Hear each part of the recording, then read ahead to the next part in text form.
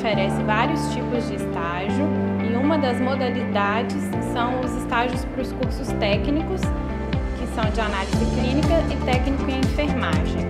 É muito importante hoje para a Fundação absorver esses profissionais. O estágio supervisionado do Colégio São Francisco Xavier Técnico, ele tem sido uma porta de entrada dos nossos alunos para o mercado de trabalho.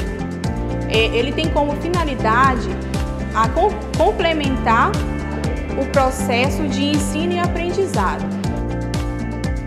O estágio, de fato, ele é a primeira oportunidade da gente ter o contato com tudo aquilo que é visto lá no Colégio São Francisco, que a gente põe em prática tudo que a gente aprende. Quando a gente começa o curso, eles falam pra gente que a gente tem estágio, só que a gente não imagina a dimensão. Eu acho que isso é um diferencial tanto para a fundação, né, para a captação de novos colaboradores e também do estudante de poder estagiar num hospital, um laboratório que é referência na América Latina. O estágio do curso de enfermagem, ele proporciona que o aluno, ele ali a teoria, a prática. Uma troca de experiência, é o momento que eles podem realizar todos os procedimentos é, pertinentes né, à nova profissão deles, né, no caso técnico de enfermagem.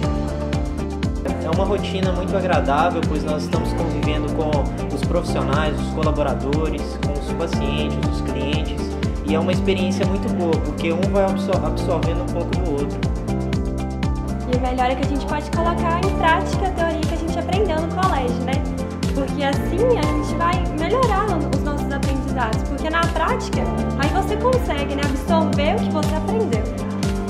É uma fase de preparação do aluno para o seu ingresso gradativamente ao mercado.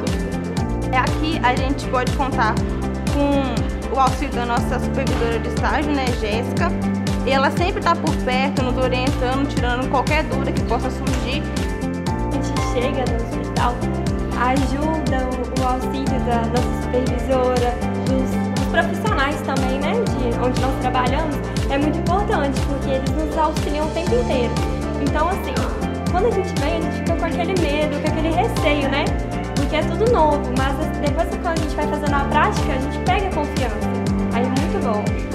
Cada coisa dessa contribui para a nossa assistência. Nós vamos melhorando, vamos ficando mais experientes de cada forma, de cada ajuda, de cada um. Iniciamos assim a teoria é, pensando de como seria estar dentro de um hospital e fomos surpreendidos mais do que a nossa expectativa tinha sido gerada.